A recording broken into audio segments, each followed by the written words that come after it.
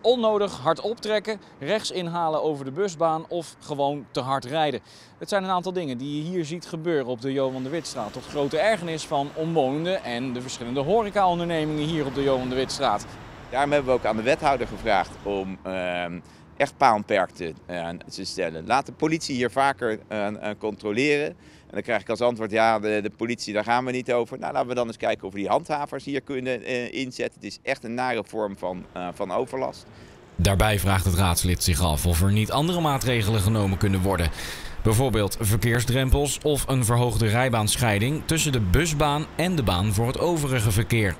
Er wordt veel rechts ingehaald ook over die uh, uh, busbaan. Dat mag natuurlijk uh, niet. Daar schrikken mensen van. Misschien is het mogelijk om een klein, kleine verhoging aan te brengen tussen die twee rijbanen. Allemaal laten we kijken, alles wat we hebben aan, aan middelen inzetten om de boel te verbeteren. Het gaat er mij niet om wat er precies wordt gedaan, als het maar wordt aangepakt. Want het is gewoon een hele vervelende situatie, denk ik. Heel veel mensen zullen herkennen als je hier eens een keertje lekker een drankje zit te doen. Maar is het niet gewoon het gedrag van de mensen aanpassen?